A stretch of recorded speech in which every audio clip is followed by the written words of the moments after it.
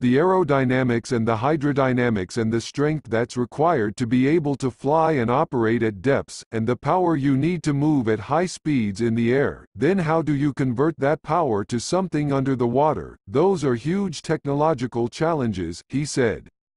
There's no question in my mind that in the future of warfare, probably long after I'm gone, we'll see that type of thing beginning to occur. Imagine, Rahed said, being able to park military technology at the bottom of the ocean, virtually undetected, at a strategic location, tell it to go to sleep indefinitely, and then activate it when needed.